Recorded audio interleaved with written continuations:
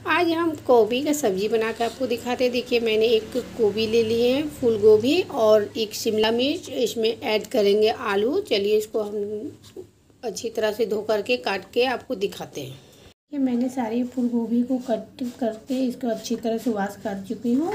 और इसमें देखिए, शिमला मिर्च भी छोटे छोटे पीसेस में काट चुकी हूँ। अब हम अपनी कढ़ाई मेरी गर्म हो चुकी है, इसमें अब हम ऑयल डालते हैं। ऑयल डाल दिए हैं। इस पतीले से मैंने दो पतीले ऑयल डाले हैं।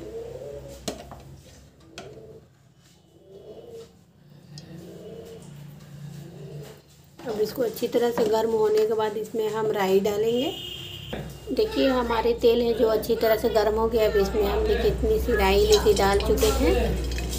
अब इसको तब तक पूरी अच्छे से चटक जाए, उसके बाद हम अपनी कटी हुई इसमें सब्ज़ी डालेंगे। ये देखिए, हमारी तेल है जो पूरी तरह से गर्म हो गई हमारी राई है, जो अच्छी तरह से चटक गई है। अब इसमें हम, देखिए, कटी हुई सब्ज़ी डालते हैं। डालने से हमारी तेल है, जो बाहर नहीं उड़ेगा।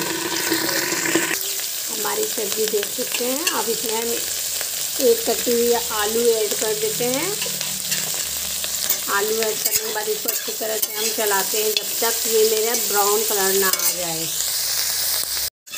देखिए, मेरी सब्ज़ी अच्छी तरह से भून गई है। अब इसमें हम मसाला ऐड करते हैं। हल्दी पाउडर डालें। अब इसको अच्छी तरह से चलाएँ। ये देखिए, मेरे मसाला पहले से पीसा हुआ था। इसमें हल्दी, सॉरी, धनिया गोलकी जीरा, अदरक, लहसुन, मिर्च का पेस्ट सारा मेरा रेडी है। इसमें डाल देते हैं इसमें एक टमाटर पीसी हुई है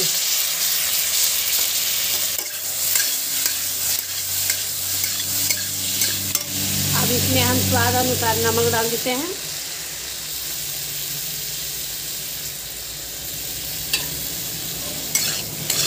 अब इसको अच्छी तरह से चलाते रहे जब तक इसका तेल ना मेरा दिखने लगे मसाला से।